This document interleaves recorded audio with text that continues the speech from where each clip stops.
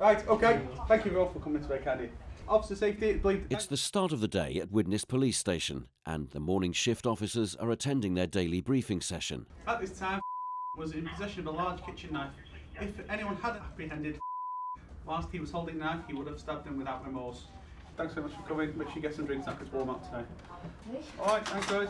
Police constables Callum Taylor and Lee Hilliard leave the station to start their patrol. Within minutes, the two officers get an emergency call to Runcorn Bridge, where someone has been spotted climbing, creating a hazard for both themselves and motorists.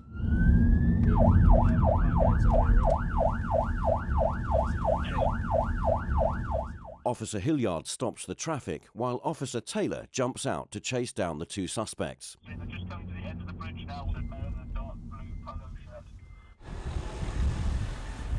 The officers receive live information about the incident and a visual description of the two men they're looking for.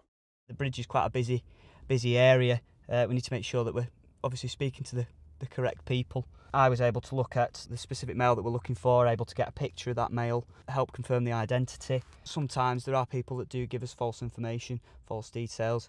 The tablet allows us to look that person up if we've previously encountered them. After they've been identified and questioned, the men are advised against climbing on the bridge and allowed to go. PC Natalie Ford is heading to Wilko's, where two known suspects have been caught on CCTV shoplifting. She needs to take a statement from the manager so the suspect can be brought in for questioning. Our makeup representative, she come up and she said, you know, she'd filled the whole unit up, and then when she went back downstairs, it was empty. I take it you've then come back up, Yeah. gone through your footage. hmm And then identified it from there. Okay, right, what I'm going to need now for you, Vicky, is a signature. A signature section. I'll just ask you to use that. Just on the, the line, if you just do a, a signature, your signature on there, please.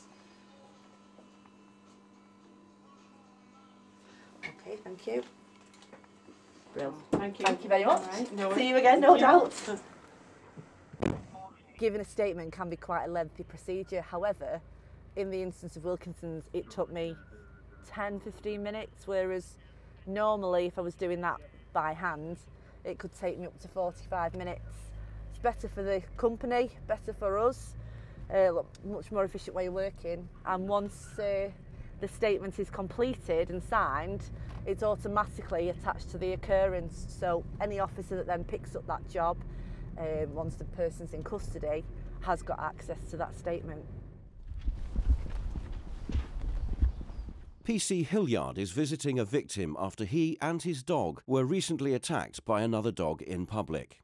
The officer mediates by recording the statements of each person involved and overseeing payment to cover vets bills.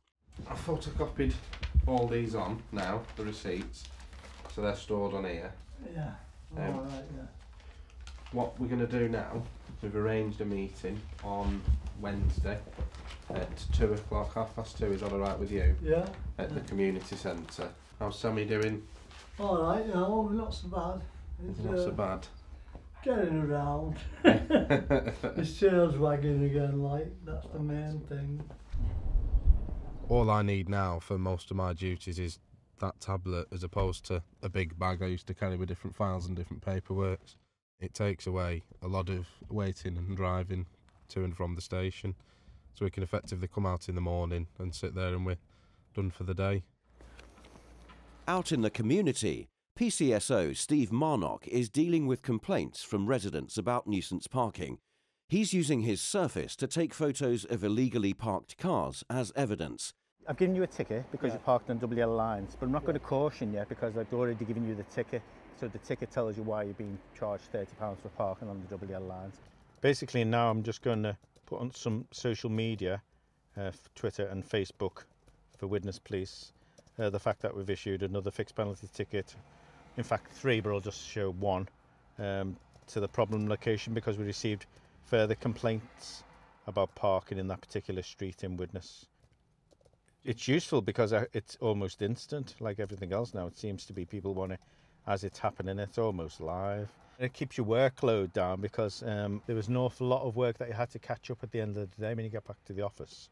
um, four o'clock, five o'clock, and then you'd spend half an hour, 40 minutes just on admin type of work when you could actually do it there and then.